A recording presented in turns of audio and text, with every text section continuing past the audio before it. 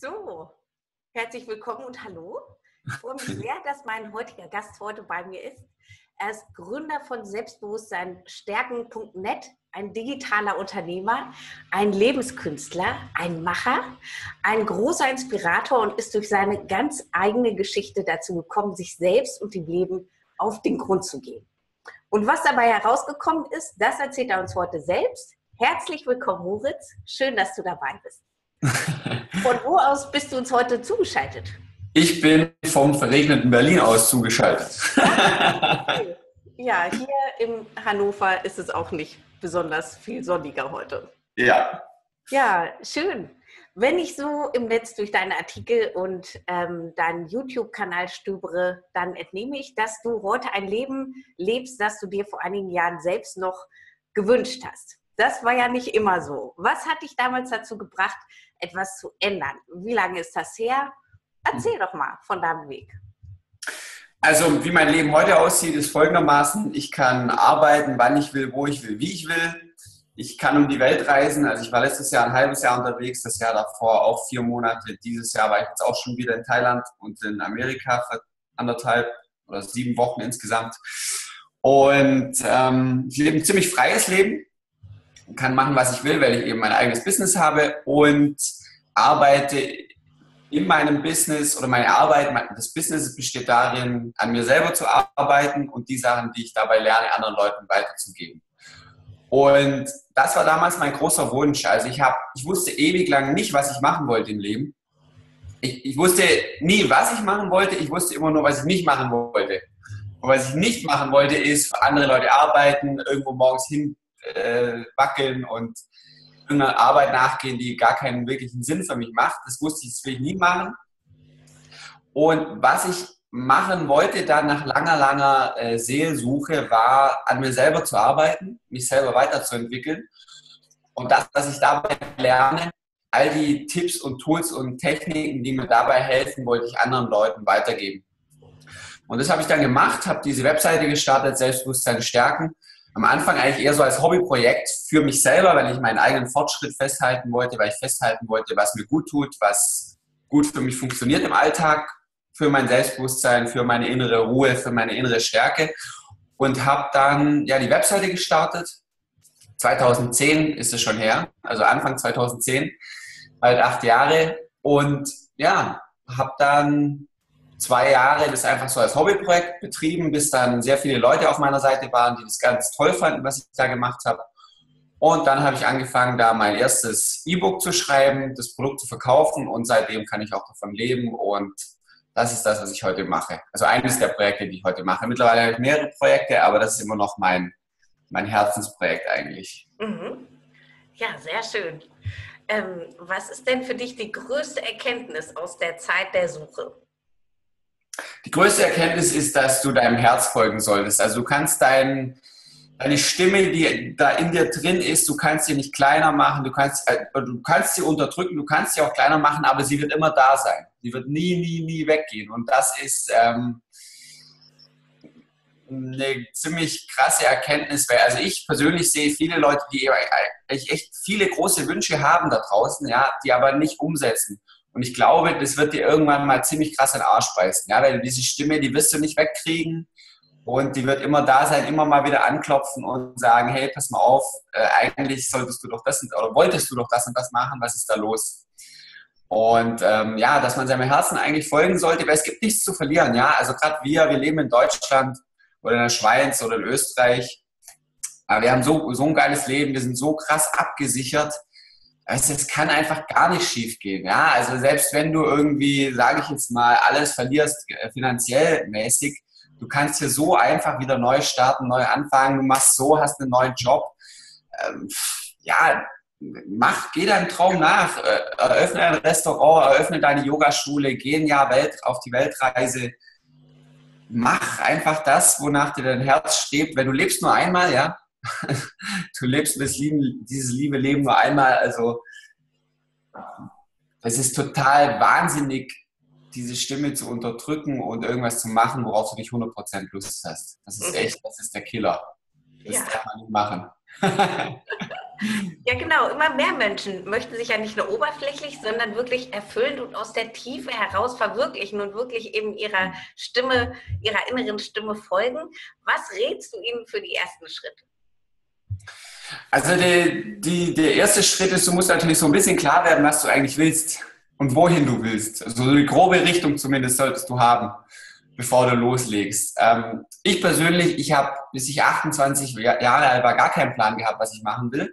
Und dann kam es so Schritt für Schritt, dadurch, dass ich viel so in mich reingeschaut habe, viel aufgeschrieben habe, vor allem auch, was will ich, was will ich nicht, wie war ich als Kind? Wie sehen mich andere Leute? Wie sehe ich mich selber? Was würde ich tun, wenn ich 10 Millionen auf dem Konto hätte? Was würde ich in fünf Jahren noch tun wollen? Was will ich auf gar keinen Fall tun wollen? Also wirklich so eine riesen Palette an Fragen eigentlich bearbeitet.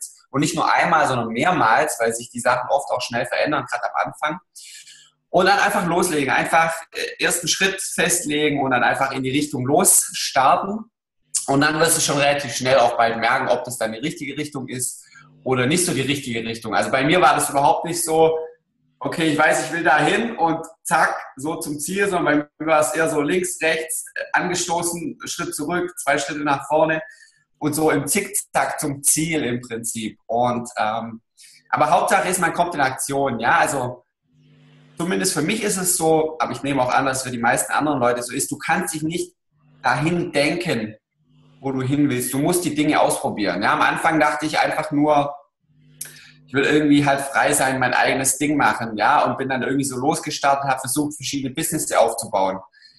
Und habe dann aber eben, dadurch, dass ich ausprobiert habe, verschiedene andere Businessformen ausprobiert und dann wieder schnell sein gelassen, weil die für mich nicht funktioniert haben. Und so muss man halt durch Aktion rausfinden, was zu einem passt und was nicht so zu einem passt. Ich kenne auch viele Leute, die zerreden ihren Traum eigentlich schon vorher, bevor sie eigentlich anfangen. Ja? Also sie haben einen Traum, ja, das Café will ich eröffnen, aber im gleichen Satz, wie sie sagen, ich würde gerne ein Café eröffnen, sagen sie, aber das ist so kompliziert, da braucht man Leute, dann brauchst du äh, irgendwie eine Küche, musst du kaufen, das kostet Geld, äh, dann brauche ich einen Raum. Weißt du, kommen sie gleich mit den 10.000 Problemen, die es gibt. Ja gut, wenn du so anfängst, und es dir gleich zerredest im ersten Satz, wird es schwierig. Also leg einfach mal los, leg die ersten Schritte fest, gib Gas und dann äh, wirst du schon rausfinden, ob es für dich das Richtige ist, ob es für dich passt. Mhm. Also definitiv Mut gefordert. Mut ist, also klar, das, was ich jetzt hier bespreche, das erfordert sehr, sehr viel Mut. Und darum würde ich auch sagen, das ist der Grund, warum es die meisten Leute nicht machen. Ja, weil es ist sehr, sehr herausfordernd, du musst deine Komfortzone verlassen, du musst deinen gewohnten Weg verlassen, du musst die äh, Möglichkeit eingehen, einen Fehler zu machen, vielleicht sogar dumm dazustehen vor anderen Leuten, ja, die Idee groß zu präsentieren und dann vielleicht auf die Schnauze zu fallen. Das musst du alles riskieren, ja, das ist alles auf der negativen Strichliste. Auf der anderen Seite steht da halt ein Leben, was du gewählt hast und was sich deutlich abhebt vom leben, was der Durchschnitt in Anführungszeichen lebt. Ja, ich war gestern Abend in einer Bar und es sind ja alles liebe Menschen und nette Menschen. Ja, aber die sind halt Freitag und Samstagabend, da kann man halt dann ausgehen. Und Montag bis Freitag arbeitet man dann wieder. Und dieses Leben, was man sich selber aber arbeiten kann, dadurch, dass man seinen eigenen Traum verwirklicht, ich denke, das hebt sich so massiv ab von dem Leben, was man, was die normalen Menschen so leben, dass es, also für mich gibt es ja gar keine Frage, was wertvoll oder welcher Weg welchen Weg man gehen sollte. Ja, das ist aus meiner heutigen Perspektive ist das normale Leben tatsächlich gar nicht mehr wert, so gelebt zu werden in der Form. Für mich. Es gibt natürlich auch viele Menschen, die sagen, Montag bis Freitag arbeiten gehen, zwei Tage die Woche frei haben, irgendeinen Job machen, der mir so ein bisschen Spaß macht, auch nicht wirklich Spaß macht, der mir Sicherheit gibt, ist okay für mich. Ich will das auch niemand zerreden oder so. Ich sage nur, wenn du da irgendwie einen Traum drin hast in deinem Herz und es auch spürst, dann geh dem nach, geh dem absolut nach, du hast nichts zu verlieren und das Leben, was da auf dich wartet, ist einfach, kannst du jetzt noch gar nicht absehen, wie geil das eigentlich ist. Du kannst es dir vorstellen, aber das ist äh, so maximal genial. Also ich kann es nur jedem empfehlen. Ja. Ähm, wie, wie wichtig ist denn deiner Meinung nach Disziplin für Veränderungen? Oder sollte ich eher sagen Willensstärke? Absolut wichtig. Disziplin ist absolut wichtig. Ja. Und ich habe auch für mich persönlich herausgefunden, dass der äußere Erfolg, den du hast im Leben, das ist eigentlich nur eine Reflexion der inneren Arbeit, die du an dir vorher geleistet hast. Mhm. Also wenn jemand im Äußeren erfolgreich wird, ähm, dann ist es deshalb so, weil er sehr stark innerlich an sich gearbeitet hat, herausgefunden hat, wie er funktioniert, was er braucht, damit er gut funktioniert, Disziplin äh, gelernt hat, für sich selber zu entwickeln und dann an der Sache kontinuierlich zu arbeiten. Weil Fakt ist einfach der, du wirst nicht von heute auf morgen erfolgreich. Du wirst deinen Traum nicht von heute auf morgen leben. Das dauert Zeit. Bei mir hat es fünf, sechs Jahre gedauert, bis es anfing zu funktionieren. Und diese Durststrecke musst du erstmal überbrücken können, eben durch Disziplin und Willensstärke. Und Disziplin ist ein wichtiges Wort, was viele zwar negativ belegen, ich aber denke, was einfach so wichtig ist, ja, das ist, und das ist kein Kinderspiel hier, das ist kein Witz, das ist kein, äh, ähm, ich mach dann mal und dann schaue ich mal. Nee, also entweder du willst es und du willst es so krass, dass du alles andere dafür stehen lässt, oder du bleibst zu Hause hocken und lässt es sein, ja. Also es ist eine krasse, krasse Lebensentscheidung, die du hier fällst. Es ist nichts so, was du mal nebenbei machst, ne? Und was natürlich den Prozess riesig unterstützen kann, ist, wenn du eine Mission hast oder eine Vision und so einen Herzenswunsch hast, der dich so krass trägt, dass du nur noch wenig Disziplin in Anführungszeichen brauchst, dass du einfach morgens aufstehst, dieses Bild von deinem Traum so stark ist und so stark in deinen Zellen ist, dass du, dass er dich automatisch antreibt, die Dinge zu tun, die es zu, zu tun gibt. Mhm. Wenn du das hast, dann hast du natürlich schon mal einen riesen fetten Bonus das ist wie wenn du bei Mario Kart hinten so einen Düsenantrieb dran hast und die anderen haben den nicht und der automatisch schon mal an ist und du gar nicht viel dafür tun musst. Das ist natürlich der Optimalfall. Mhm. Das heißt aber, egal was man äh, für einen Traum im Herzen trägt, ist es eigentlich unverzichtbar, dass man auch sich selbst richtig gut kennenlernt und sich selbst auf den Grund geht, meinst du? Also so sehe ich das. Alle Leute, die ich so kenne, die erfolgreich sind, die, haben, die beschäftigen sich seit Jahren mit Persönlichkeitsentwicklung in meinem Bereich, die gehen ständig auf Seminare, bilden sich weiter, machen, haben selber Coaches, nehmen Coachings. Weil, also, gerade wenn es um den Business-Aspekt geht, wenn du ein Business aufbauen willst, du musst da viele Blockaden auch innerlich lösen, die der normale Durchschnittsmensch und durch die Konditionierung der Gesellschaft so hat. Ja, Geld ist schlecht, alle viel Geld haben, haben sie es irgendwie erstohlen. Das war so Konditionierung von mir. Kann ich überhaupt Geld verlangen für meine Produkte? Wer bin ich, dass ich Geld verlange? Ähm, bei mir ist es ja so, Selbstbewusstsein stärken ist meine Seite. Da kommen auch viele Leute drauf, denen geht es nicht so gut, sage ich mal. Ja, die sind irgendwie angespannt, gestresst, Ex-Partner ist weggelaufen. Ja, am Anfang war das dann so, okay, die Leute, denen geht es eh schon nicht gut. Und jetzt komme ich mit meiner, meinen Produkten und knöpfe denen Geld ab. Dabei, wenn ich denen ja wirklich helfen wollen würde, dann würde ich denen die Informationen ja einfach so geben ja, und mich gratis da hinstellen und denen irgendwie den Weg aufzeigen, der ihnen vielleicht helfen könnte. Lauter so Sachen können einen wahnsinnig blockieren und da muss man einfach stark an sich selber arbeiten, um diese Dinge äh, los, loslassen zu können. Oder auch im Freundeskreis sich hinstellen zu können, zu sagen, ja, hey, ich habe eine Webseite zum Thema Selbstbewusstsein, ich helfe anderen Leuten selbstbewusster zu werden, verdiene damit mein Geld.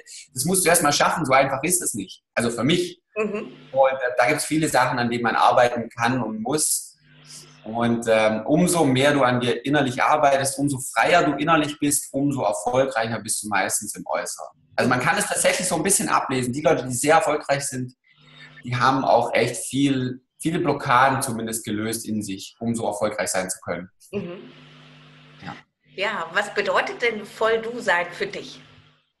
Voll, voll ich sein bedeutet mhm. für mich, das zu sagen, was ich denke, ähm, auf mich zu achten, vor allem auch zu sehen, wenn es mir vielleicht nicht so gut geht, das zu kommunizieren, kommunizieren zu können und ja, authentisch zu sein, dass man sich nicht verstellt vor anderen Leuten, wenn man irgendwie eine Harmonie im Raum haben will oder sowas. Also da bin ich zum Beispiel, das ist eine Sache, da bin ich noch am Arbeiten. Ja, also ich habe gute Freunde, die mir wichtig sind. Jetzt wie gehst du da hin und sagst so, hey, ähm, pass auf, cool, dass du jetzt da warst, aber jetzt reicht's, äh, geh mal nach Hause, weil ich will jetzt schlafen oder mir ist es zu viel oder ich will jetzt ein Buch lesen. Ähm, selbst das ja sind für mich nach Jahren der Arbeit immer noch Sachen, wo ich sagen muss, okay, das ist nicht ganz so einfach. Das war jetzt ein einfaches Beispiel, aber es gibt Situationen, okay, mich hat jemand aufgeregt oder so und dann den mal einen Telefonhörer zu holen und zu sagen, hey, pass mal auf, das, das fand ich gut ähm, und das dann auszudiskutieren, gerade bei Männern, da darf oder will man ja eher nicht so schwach sein oder irgendwie angefressen sein von irgendwas, aber sind immer stark. Ähm, ja, das sind auch noch Sachen. Aber voll du sein heißt für mich authentisch sein, eigentlich in jedem Moment so authentisch wie möglich zu sein. Mhm. Ja. ja. Und ähm, meinst du, dass man hundertprozentig bei sich selbst ankommen kann? Ich denke schon, ja. Ich denke schon. Also der Weg dahin, ähm, so wie ich den sehe, der ist, da, da ist, der ist mit viel Arbeit verbunden. Aber das ist definitiv möglich. Also ich denke auch und ich habe das Gefühl, dass ich Leute kenne, die, die da sehr gut drin sind, sehr gut sich selber zu sein. Mhm. Ja. Ja, denke, es ist möglich, ja. Eine, eine große Aufgabe auf jeden Fall. Ja, also Lebensaufgabe im Endeffekt. Und ich denke aber zum Beispiel, voll du zu sein, voll ich zu sein, voll authentisch zu sein, in jedem Moment das zu tun, worauf ich Lust habe und mich authentisch zu geben. Ich meine, wenn es irgendein Lebensziel gibt, dann muss es ja das sein im Prinzip. Ja, das ist eigentlich eines der größten Geschenke, die du dir selber machen kannst im Leben, daran zu arbeiten, voll du zu sein. Das Ding ist ja, das ist das hier, was du mit dir rumträgst, die ganze Zeit. Immer. Egal, ob jemand da ist, egal, ob du alleine bist oder auf dem Berg stehst oder gerade schwimmst im, im Ozean. Alles, das hier ist immer bei dir, 24-7. Und wenn du schaffst, hier dich gut zu fühlen, eben dadurch, dass du diese Blockaden loswirst, du selber bist, das ist ein Leben, das ähm, Wahnsinn, ja. Und ich merke das ja auch an mir selber, dass es mich immer mehr dahin zieht, in diese Authentizität rein. Und dass ich immer mehr auch bereit bin, Beziehungen zu, wie sagen, ähm, sacrificen, wie sagt man das auf, äh, auf Deutsch? Äh, zu opfern, ja, wenn, aber weißt du, es gibt Leute, die passen zu dir, die passen nicht zu dir und das musste ich auch feststellen. Manche Beziehungen, ey, wenn der andere das halt nicht hinkriegt, äh, auf, also so, dass es dir dabei gut geht, dann ist es halt, dann passt halt einfach nicht, dann ist es nicht dieselbe Wellenlänge und dann ist das auch okay. Und aber sowas gehen zu lassen nach einer tiefen Freundschaft auch, das ist sackschwer, ja, aber das ist der richtige Weg meiner Meinung nach. Und ähm, ja, also die, diese Opfer aufzubringen, zu bringen, ähm, nicht so einfach, aber das ist der Weg, ja. Mhm. Kannst du, kannst du ein kraftvolles Tool nennen, was dir geholfen hat auf deinem Weg, ähm, was dich immer wieder mit dir selbst und deiner Aufgabe ähm, verbindet?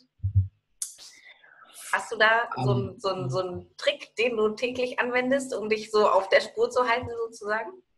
Also ich denke so, dieses Innehalten ist für mich ein ganz wichtiger Punkt, weil also ich bin jemand, ich bin unglaublich schnell hier oben im Kopf, ich habe 10.000 Ideen und, und, ich bin super schnell darin, ähm, mich an den Computer zu setzen und loszulegen und irgendwas zu machen und dann aber das große Ganze so ein bisschen aus dem Auge zu verlieren, weil ich so enthusiastisch bin bei dem, was ich mache. Und dieses im Prinzip so einen Schritt zurückzugehen, mental wie auch physisch, wie ich es jetzt gemacht habe, ein bisschen zu meditieren, loszulassen, die Augen zu schließen, zu überlegen wieder, wo will ich eigentlich hin bewusst und aktiv, proaktiv zu visualisieren, meine Ziele mir gedanklich vorzustellen. Das sind so Tools, die mir sehr helfen, um mich immer wieder so wie so ein Pendel zu zentrieren, weißt du, dass ich richtig schwinge. So. Ich bin schon oft aus, aus dem Tritt geraten, dadurch, dass ich super enthusiastisch war, aber da irgendwo reingesprungen bin, nach drei Monaten festgestellt habe, oh Gott, was habe ich gemacht? Voll reingesprungen, ohne irgendwie zu überlegen, was ich eigentlich machen wollte oder wo ich hin will im Leben. Und ähm, es hat auch was Gutes, wenn man so ein bisschen so impulsiv ist, wenn man viel Energie erzeugen kann in kurzer Zeit. Aber man kann auch als Pendel sehr schnell aus dem Takt rauskommen und ähm, aus dem Schritt kommen, so ein bisschen. So. Ja, also innehalten durch Meditation jeden Tag. Muss gar nicht lang sein, fünf Minuten reichen schon. Bewusstes Visualisieren deiner Ziele. Ähm, einfach einen Spaziergang machen, Sport machen, da kommst du auch wieder im Körper raus aus dem Kopf, mehr so connected zu deinem Center. Das kann ich auf jeden Fall jedem empfehlen. Ja, ja wunderbar. Ähm, das heißt also, dieser, ich sage mal, immer wieder ausrichtende und gesunde Lebensstil ist eigentlich unverzichtbar auf dem Weg zu sich selbst und zu, seinem, zu der Verwirklichung seiner, seiner Träume. Für mich war das so. Ich kenne aber also witzigerweise auch Leute, wo ich das Gefühl habe, zumindest nach außen hin wirken die so, ich weiß nicht, wie deren Innenleben ist, dass die das kaum bis gar nicht brauchen, weil die so, so fokussiert sind auf ihr Ziel, dass sie wirklich alles andere ausblenden und dann nur noch diesen einen Weg sehen. Bei mir ist es nicht so. Ich, ich sehe 15 Wege auf einmal durch den Wald und ich finde auch alle 15 Wege ziemlich interessant und spannend und würde die eigentlich am liebsten alle gleichzeitig laufen. Also ich bin auch so eine Scanner-Persönlichkeit, nennt man das. Äh, ich, gehe, ich weiß nicht, ob ihr das was sagt. Und Barbara Scher, glaube ich, die hat diesen Begriff zum ersten Mal genannt. Das ist eine Persönlichkeit, die eben viele Sachen gut findet. Ja, ich finde Oper geil, ich finde Heavy Metal geil, ich gehe gerne ins Theater, äh, ich habe Elektrotechnik studiert, ich gehe zum Schauspielkurs, ich mache mein eigenes Business, ich reise gern, äh, ich bin Rohkostler, weißt du, so 10.000 Millionen Sachen, die ich irgendwie geil finde. Und es gibt andere Leute, die sagen halt, okay, ich finde Autos gut und ich finde Fußball gut und das war's. So. Mhm. Dann ist natürlich dein Leben sehr viel einfacher und du musst nicht so viel Entscheidungen treffen den ganzen Tag.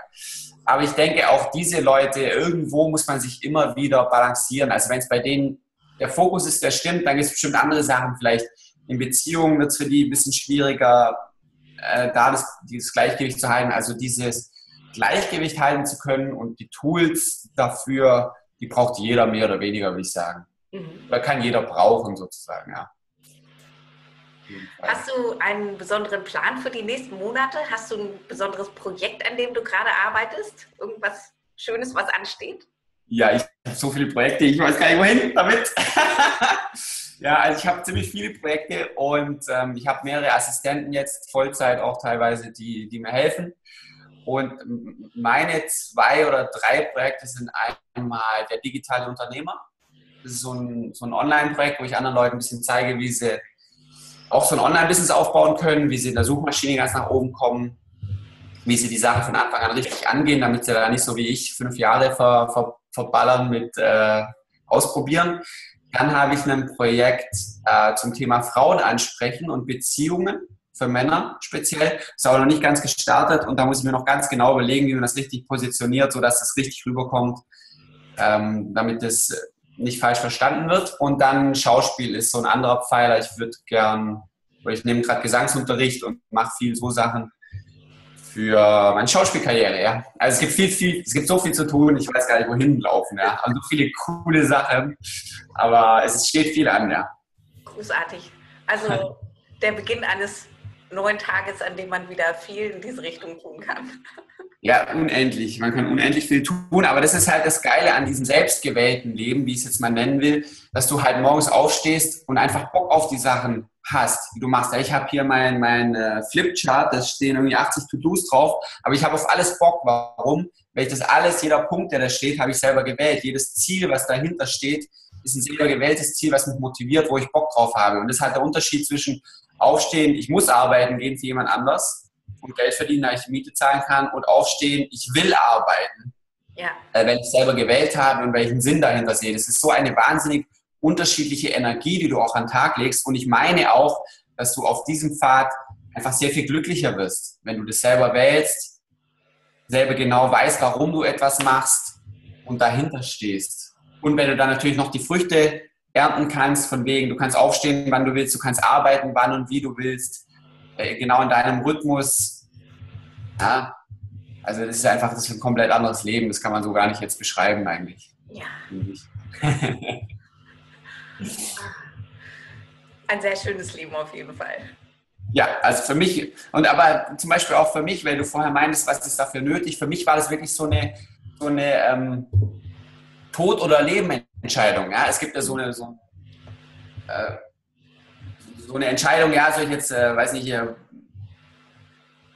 vegetarisch Mittagessen oder die Klößchensuppe, ja, das sind so Entscheidungen, ja, das verändert das dein Leben nicht so wahnsinnig. Und dann gibt es verschiedene Stufen und dann gibt es am Ende diese Tod- oder Leben-Entscheidung, ja, also das sind Entscheidungen, wo es echt um, um alles geht. Und für mich war diese Entscheidung für dieses eigene Leben, eigene Business, war gefühlt eine Tod- oder Leben-Entscheidung.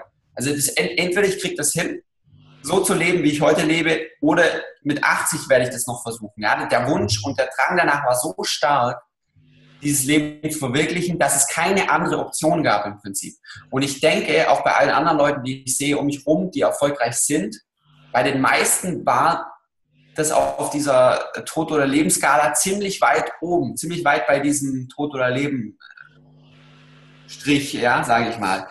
Und da muss sich auch jeder vielleicht selber ein bisschen so ehrlich mit sich sein. Ja, wie wichtig ist mir das? Oder bin ich halt auch zufrieden, wenn ich normal zum Job renne und normal durchs Leben gehe? Ja?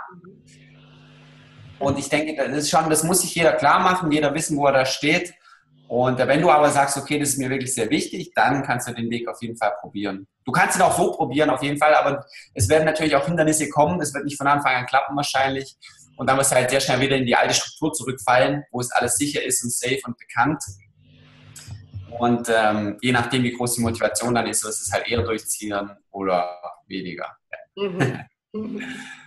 ja, was möchtest du den Zuschauern an dieser Stelle noch mit auf den Weg geben von deiner Seite? Ich würde dir Zuschauer, lieber Zuschauer mitgeben, dass wenn du hier zuschaust, wenn du dich irgendwie angesprochen fühlst, nicht so sehr gedanklich, sondern eher so vom Herz, wenn da irgendwann mal jetzt, weil als ich was erzählt habe, so ein, so ein, vielleicht so ein Gefühl kam von wegen, wow, krass, äh, der hat irgendwie recht oder so auf einer intuitiven Ebene hat da was resoniert, dann würde ich dir mitgeben, ähm, folge deinem Herzen, folge deiner Intuition. Ich hatte das noch nie in meinem Leben, dass mich meine Intuition fehlgeleitet hätte. Wann immer ich, und selbst das Gefühl, selbst wenn es so mini klein war und ich dem gefolgt bin, ich habe das nie bereut hinterher.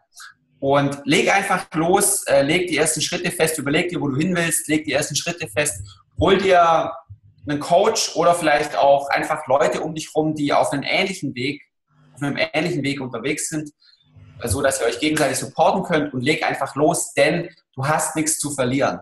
Ja, Steve Jobs hat es so schön gesagt damals, äh, du bist schon nackt auf dieser Welt. Ja, jeder sieht dich schon nackt im Endeffekt, du hast gar nichts zu verlieren und der Tod kommt eh früher, als jeder denkt. Also die Zeit des Lebens ist eh kürzer, als du es jetzt, oder die geht schneller vorbei, als du es jetzt, äh, wenn du noch jung bist, vielleicht einschätzen kannst. Darum leg einfach los mit deinem Traum, fang an. Und gerade hier in Deutschland, weißt du, du kannst halt einfach gar nichts verlieren. Selbst wenn du finanziell alles verlierst, was eigentlich der Worst Case ist, ja, dann hast du Eltern oder Freunde und Bekannte, du kannst immer irgendwo pennen, du hast immer ein Dach über dem Kopf, du hast immer was zu essen, kannst immer wieder neu starten. Diese, diese irrationale Angst von wegen, ich muss dann unter der Brücke leben und äh, ich bin geächtet oder was sich der Kopf da immer für fiese Sachen ein, einfallen lässt, die sind nicht wahr. Also leg einfach los, folge deinem Herzen. Das ist die beste Entscheidung, die ich jemals in meinem Leben getroffen habe und ich bin mir sicher, auch du wirst es nicht bereuen, wenn du den Weg gehst. Wundervoll. Vielen, vielen, vielen Dank für deine Zeit und für, dein, für deine wundervollen Einsichten. Danke für die Einladung. Ja, freue mich sehr. Und ja, wünsche dir noch einen ganz, ganz schönen Tag. Super. Danke dir. Danke. Bis dann. Tschüss.